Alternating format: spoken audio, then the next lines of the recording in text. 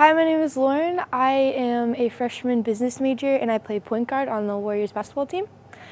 If you're thinking about doing college basketball coming into Union, I would highly recommend it.